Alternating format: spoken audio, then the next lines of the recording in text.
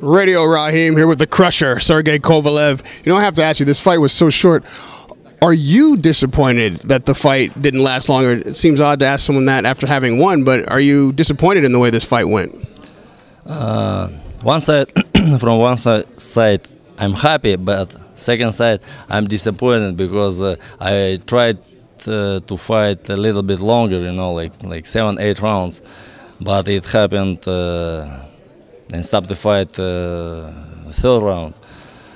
It's less too tired, but uh, also less uh, too fun for fans. You know, it's uh, but what happened, it happened. Mike Tyson's had this problem. Triple G's having this problem right now when fight, fighters come out and they seem afraid. He, maybe he didn't fight the best fight he could have because he was scared. And the beginning of this fight, did it seem to you like he was already fighting afraid before you ever hit him?